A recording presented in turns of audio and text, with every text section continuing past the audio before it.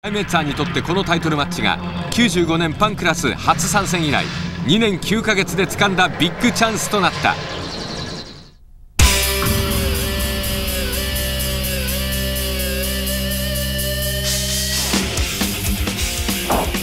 98年3月18日後楽園ホール。柳沢隆史とタイトルマッチ次期挑戦者決定権をかけて対戦。これがビッグチャンスへのチャレンジとなった。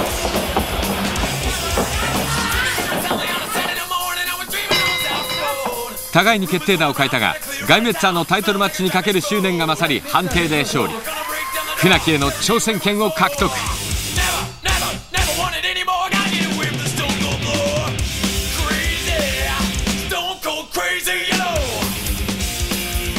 To win the Pancras title, there's one Pancras. They have the toughest fighters in the world, and I can vouch for that because I have fought in everything. And to win it means you are the best in the world at free fight, in my opinion. And I could be wrong, but I'm not. ガイメッツァーのパンクラスファーストマッチは95年7月23日後楽園ホール。対戦相手はジョン・レンフロー。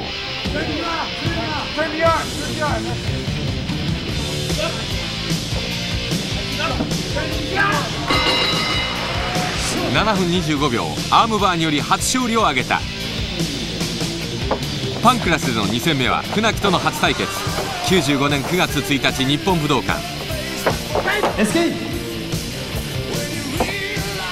この時船木は抜群の安定感がありガイメッツァーは苦しい試合を強いられる。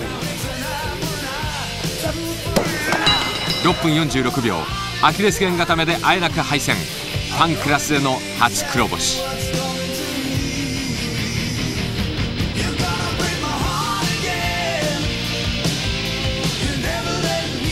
96年にはランキングトーナメントに参戦。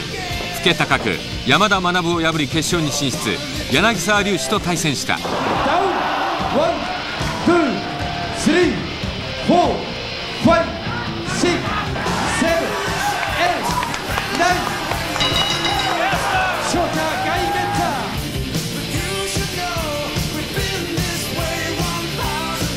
12分21秒左のハイキックが柳沢隆史の顔面を捉え KO 勝ち初出場初優勝を飾りその実力を知らしめた。5月には初のランキング戦で鈴木みのると対戦。鈴木から小艇でダウンを奪う。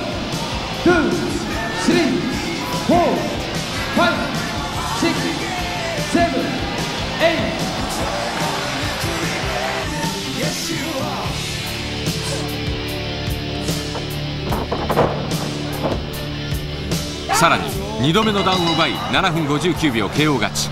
ランキングを2位に上げた。9月6日東京ベイ NK ホール。2年ぶりに船木と対戦。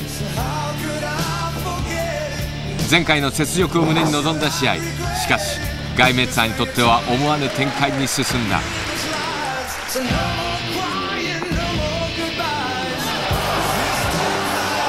3分58秒腕ひしぎ逆十字固めを決められ船木に連敗「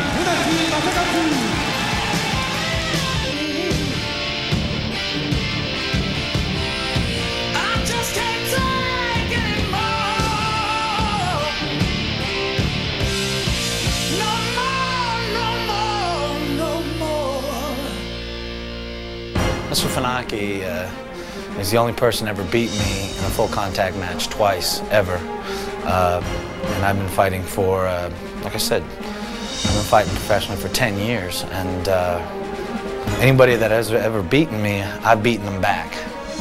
And Mr. Funaki beat me twice. Obviously, the opportunity to win and beat Funaki makes you uh, recognized as one of the greatest fighters ever, because he's one of the greatest fighters ever. And to defeat him, you part, kind of put your place in history.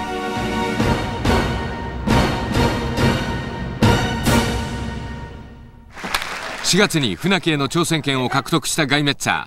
3度目の対戦。過去2連敗の雪辱戦はタイトルマッチとなった。船木正勝背中越しまずは軽く左のローキックから左の小艇から入っていった船木。これメッツァーはあの格闘技彼の格闘技人生においてはい。最大の晴れ舞台だと思います。左の肺から右のミドル。船木は一体何をイマジネーションし何を狙っているのか船木に大メッツァーの資格あるのかということを聞いてみましたらベルトを取りに来るという気持ちだけしかないと。体調もそして今のコンディションも俺よりガイメッツァーの方が数段上回っているということを彼は言ってましたね。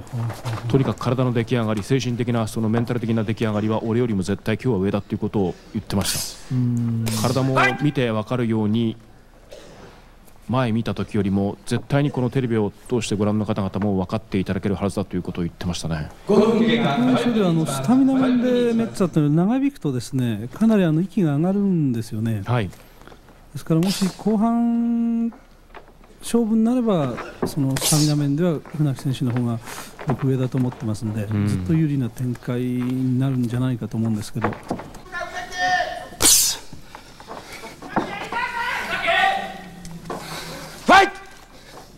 まだ見えませんね。何を考えているのかというのは。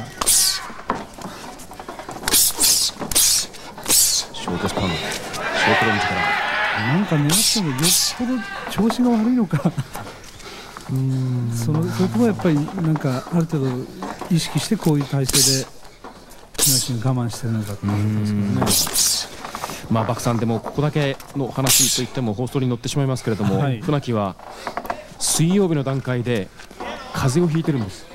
あそうですか。今日はですからこれは最後まで相当コンディション悪いんですかね。2個目という話ではあったんですが、まあ彼は私だけではなくて一部マスコミにも発表はしてるということを言ってましたんで、とにかく今日は彼の肉声はええ。花が詰まってるぐらいに状態的にはでもかなり回復したとは言ってるんですが、ええということは呼吸が苦しいかということをぶつけてみたんですが呼吸はほとんど苦しくはないと。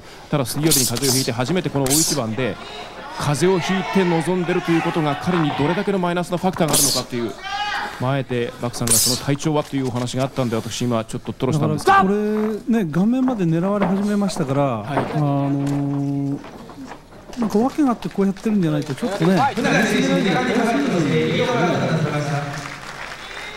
体調が悪くてこうなってるのか、まあ、あなんか作戦なのかなと、どっちかだろうなと思ったんですけど、これお話の最中ネガティブファイトということで左のハイキックに入りましたけれどもネガティブファイトイエローカードが提示されました。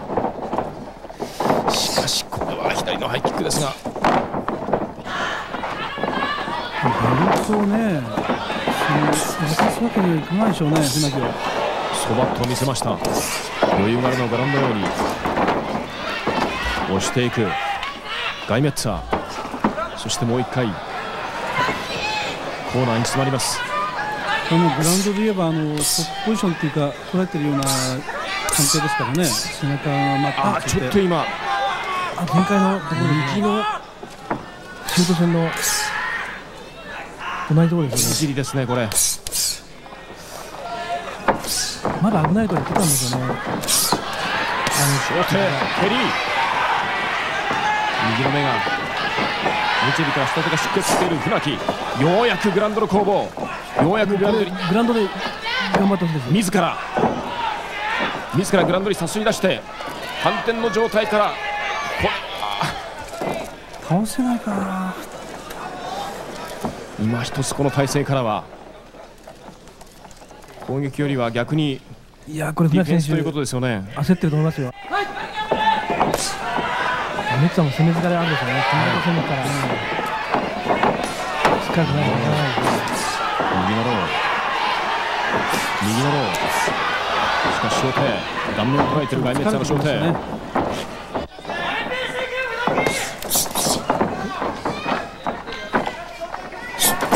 まあ、宍倉さんおっしゃるように、船木にとってみるとこの18分を超えた段階でまさにもう一応これ未知のタイムという初ことですよねこれ初めてじゃないですか。そうですよでねあのパンクラス史上初めてだと思います、ええ。だからスタミナという点では船木選手も年齢的にきついですから、はい。決してどっちが有利というのはもうここまで来るとは言えないような感じです。あちょっと船木今自ら崩れ落ちるかのようなところをかろうじてグラウンドの攻防で繋いでいったという感じですかねそうですね今。今微妙なダウンダウンと言われればダウンのよう微な妙な今崩れ方でしたねダウン取られたかもしれないですね。そうですね、え20分経過。えついに20分来ましたか小手小手小手船木。膝とか至近距離からのダンク怖いですよね。しかしこのショートレンジショートスパンから。小手と膝。そしてナックル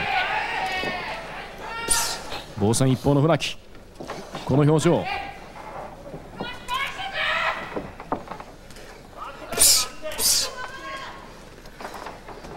確かに今後のパンクラスを語る上でこの第6代の船木正和というチャンピオンはベルトを死守してこそ初めてパンクラスにまた一つの枝葉が生まれてくるという。そのためには大きくこのため息をついた船木。決して落とせません。右のローキック。小手小手。船木の足元。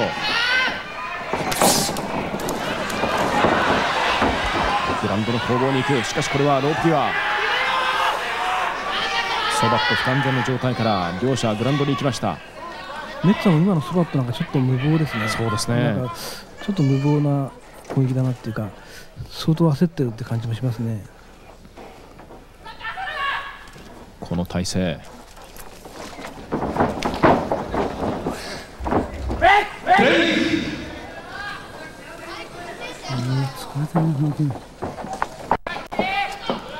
船木このパンクラス史上未体験ゾーンのすでに20分を経過しています。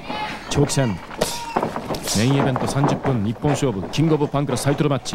第6代のキングオブパンクラシスト船木。厳しい状況に追い込まれている。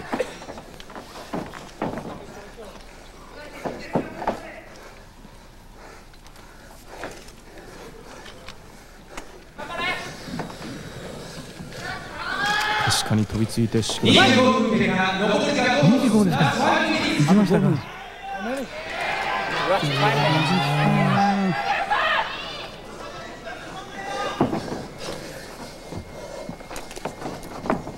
ネッツさんはもうなんか攻める力ないって感じしますもんね。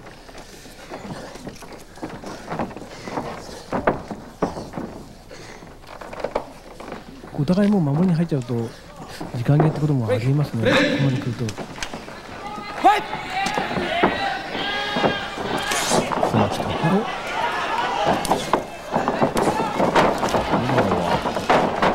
今のはどれどれどれこれ今のグランドエアのもつれも見ててややまだガイメッツァーの方が体の預け方それから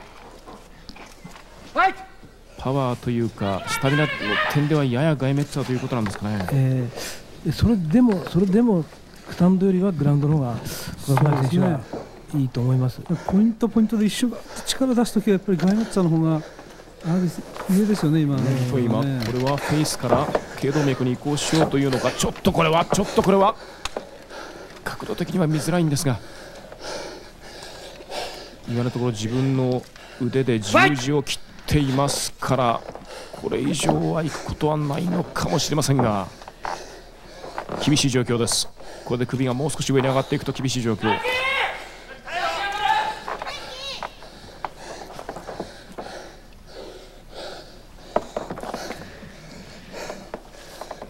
今のところガイメッツァーの懐に自分の腕がまだ入っていますし左の腕がそこでもう一回クロスしてるのかどうか。この角度ですとちょっと見づらいんですが。ガイメッツァーの左の手を取ってますね。残り3分。アーブロックに移行するのか。その腕をきっちりとロックしている。ブロックしている船木。この体勢ガイメッツァーの右の足も自分の両足でブロックしています。完璧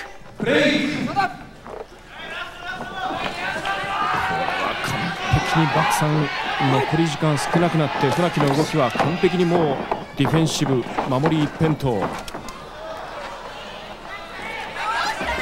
気が止まりましたね。はい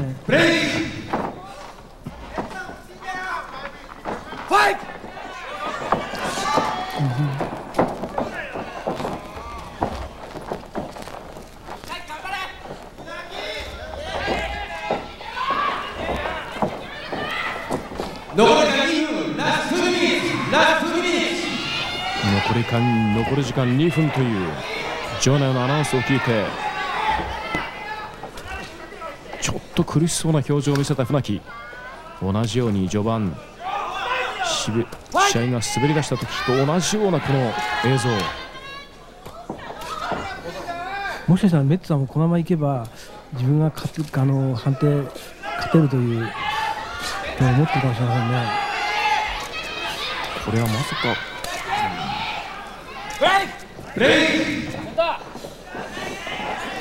の目線の先には電光掲示板の残り時間を見てるということじゃないんでしょうね。残り2分もうそろそろ船木。最後の流れに身を任せて起死回生の一発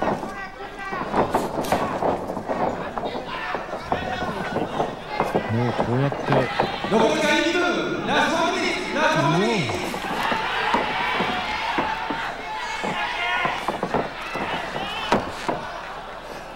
残り1分を切りました実はですねあの週刊プロレスの、えー次の号なんですけどすでにもう表紙は終わってるんですが、はいあの上の横の帯というのがありまして、はいそこだけあの無理やり開けてあるんですよ、はい今日の結果を入れるために、はいでつまり2つの2つのパターンをはいあの作ってあるんですはいすで、に当然あの一つショック船木の王座転落というのがあるんです、はい。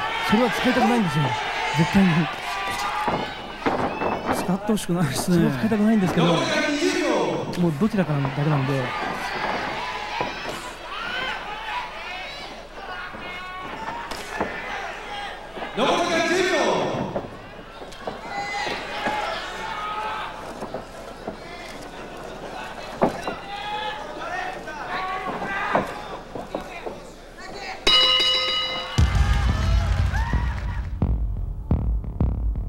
30分フルタイム。試合は終始優勢に進めたガイメッツァーが勝利を収めた。パンクラス参戦以来2年9ヶ月。ついに第7代キングオブパンクラシストに上り詰めた。